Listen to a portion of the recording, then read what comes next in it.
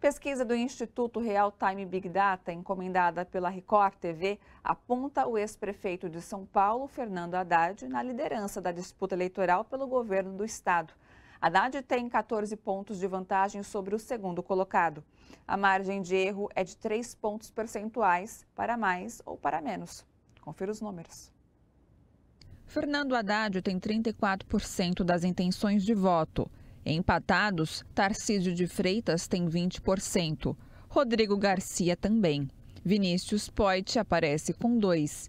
Elvis César tem 1%. Os outros candidatos não pontuaram. O Instituto também fez simulações de segundo turno. Na disputa com Tarcísio de Freitas, Fernando Haddad venceria com 39% contra 30%.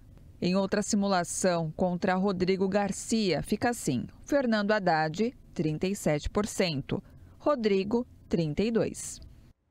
Essa pesquisa para o governo de São Paulo foi realizada entre sexta-feira e sábado, com duas mil pessoas ouvidas por telefone.